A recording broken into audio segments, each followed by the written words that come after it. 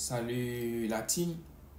Pour ceux et celles euh, qui vont me suivre pour la première fois, vous avez devant vous euh, le médiateur 229.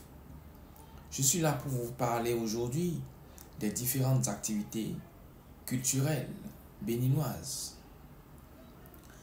organisées par ces grandes personnalités béninoises qui prônent, qui font valoir la culture, les valeurs béninoises à l'extérieur, partout dans le monde entier, en Europe, en Asie, aux États-Unis, au Canada, en Afrique. Voilà. Alors, premièrement, je vais vous parler de ce grand festival qu'on appelle Zobin, qui a sa quatrième édition. Ce festival qui a été initié, qui est organisé par cette grande dame, Bada Imelda, vous voyez un peu, et qui va se faire en deux temps. Mais d'abord, avant, dans notre langue, on dit Zobin. Zobin qui signifie la lumière, l'éclairage. Et on n'est pas sans savoir qu'aujourd'hui, dans l'obscurité, on ne peut rien. On a besoin de la lumière. On a besoin de l'éclairage. Alors, cette dame nous fait savoir par son festival Zobin, qui a sa quatrième édition, comment les valeurs, la culture béninoise apportent la lumière, l'éclairage au monde entier. Elle nous fait savoir comment les valeurs, la culture béninoise apportent la lumière dans nos vies, dans les activités, dans ce que nous faisons. Donc, la première phase aura lieu le samedi prochain 18 mai à Reims, dans une grande ville de la France. Et la deuxième phase, ça se passera entre la période du 2 au 4 août dans une ville du Bénin, Webo, Agon, Tofo. Donc, j'exhorte, je demande à tous les touristes, à tout le monde entier, de se rendre disponible.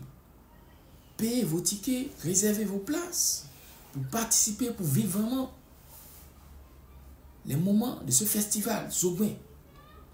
Pour voir comment les valeurs, la culture béninoise reflètent la lumière au détriment de ce que vous entendez. Voilà. Donc, pour la jouer, bon, nous allons l'écouter d'abord elle-même. Nous allons écouter Madame Bada elle-même nous parler un peu du programme.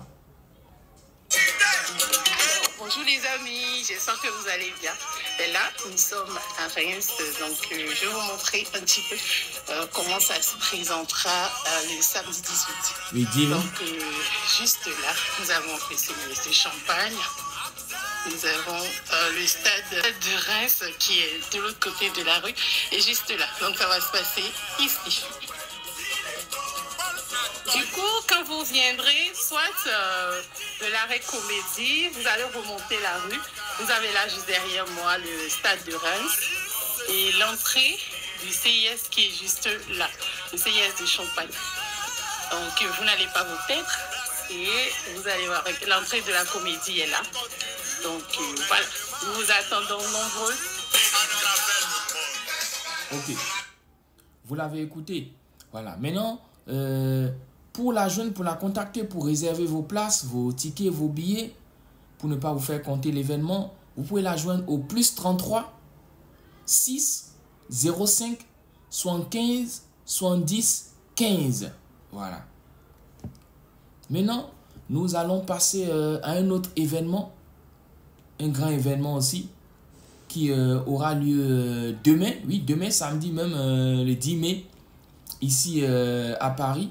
Oui, j'avais déjà parlé de ça dans mes différents réseaux. J'ai demandé, ils ont fait la plus, ils ont parlé de ça. Et c'est vrai, il y a des personnes qui m'ont dit, le médiateur 229, euh, nous sommes pris, tu peux nous rappeler ça à la dernière minute, au moment, c'est pour vous, d'accord? N'hésitez pas à réserver vos places, vraiment, pour aller vivre l'événement, pour vous distraire, pour vous détendre. Car vous savez, après une longue journée de travail, c'est normal. Ouais, c'est des personnes béninoises qui ont réfléchi. Et il faut les encourager. Ils se sont dit qu'il y a des béninois à l'extérieur de la diaspora qui n'ont plus le temps de vivre la culture, la musique béninoise dans des différents endroits au Bénin sur place. Donc, ils ont vu qu'il est bon de déplacer vers euh, l'Europe, vers l'extérieur, ces artistes, les différents artistes, pour prester